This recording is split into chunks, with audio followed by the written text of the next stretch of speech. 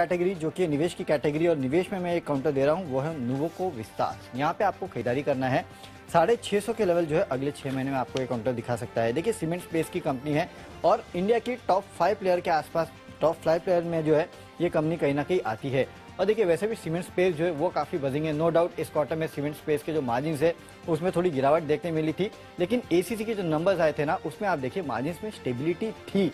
तो ये स्पेस जो है उसमें आपको कुछ कंपनीज़ ऐसे देखने मिलेगी जहाँ पे मार्जिन में गिरावट है। कहीं कहीं मार्जिन जो है वो सस्टेन भी करेंगे, लेकिन आने वाले दिन जो है, इन कंपनियों के लिए काफ़ी बेहतर रह सकते हैं। जिन वैल्यूएशन पे कंपनी यहाँ उपलब्ध है, उसके चलते मुझे लगता है आपको यहाँ खरीदारी करना है। साढ़े छह सौ के आसपास के लेवल जो है, आपको इस काउंटर में अगले छह महीने में देखने मिलेंगे। इनफैक्ट आशीष, कुछ दिनों पहले निर्मल बैंक की रिपोर्ट आई थी मेरे ख्याल से इस काउंटर पे। करीब 600 610 के आसपास के टारगेट जो है, उन्होंने भी इस काउंटर पे सुझाया तो काफ़ी बेहतरीन लेवल्स पे मिल रहा है।